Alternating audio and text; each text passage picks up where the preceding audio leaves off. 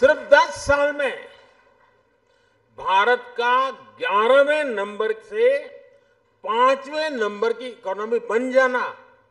क्या ऐसे ही हुआ होगा क्या? सिर्फ़ 10 साल में भारत का फॉरेक्स रिज़र्व बढ़कर के 700 बिलियन डॉलर के पार हो पहुँच जाना, ये क्या ऐसे ही हुआ होगा क्या?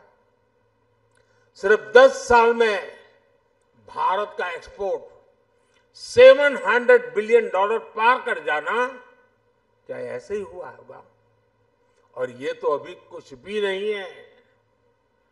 अभी तो और भी आगे जाना है।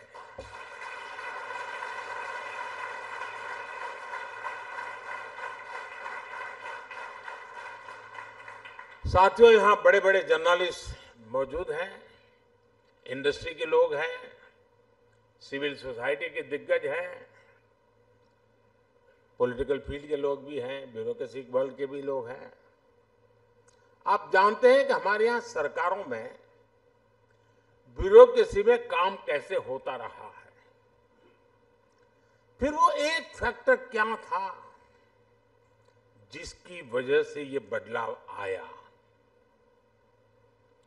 वो एक फैक्टर है नियत।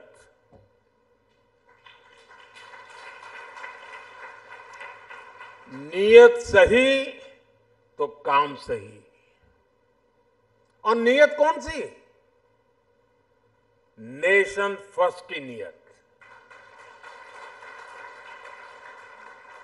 मेरे देश में कोई कमी नहीं है कि उसकी पहचान गरीब देश के रूप में हो। हम दुनिया के सबसे युवा देश हैं।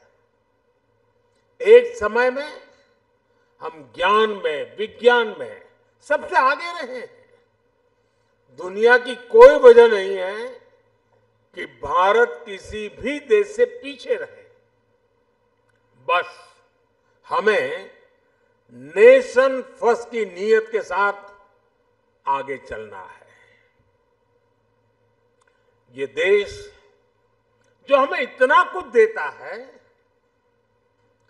हम उसमें सिर्फ़ रहते हैं या फिर देश के लिए कुछ अलग करते भी हैं, ये फ़र्क बहुत बारीक है।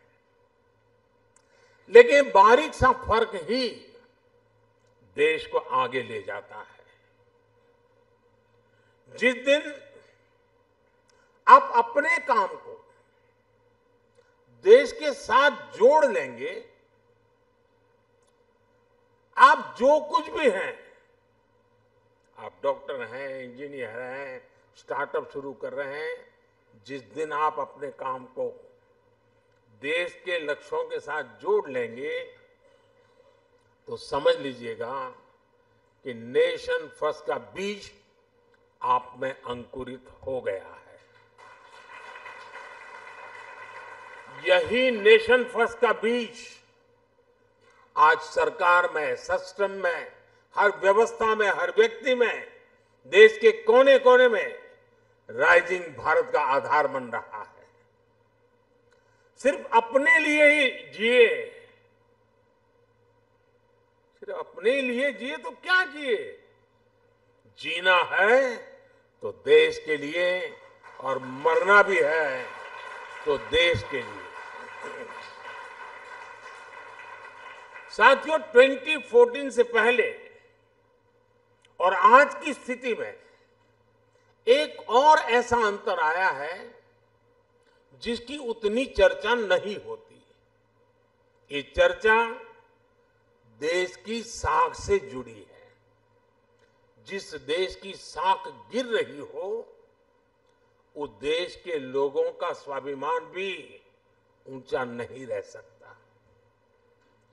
2014 के पहले भारत के साथ क्या स्थिति थी? आप याद कीजिए 2014 से पहले घर घर में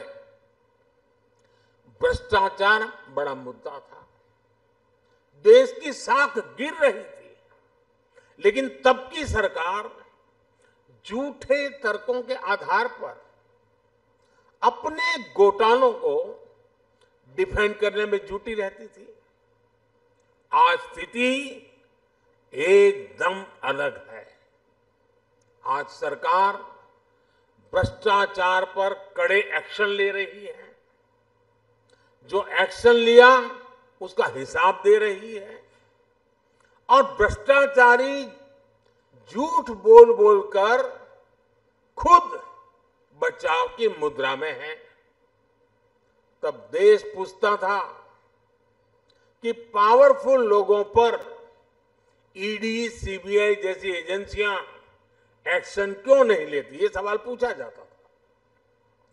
आज पावरफुल और भ्रष्ट लोग पूछ रहे हैं कि एजेंसियाँ उन पर एक्शन क्यों ले रही है?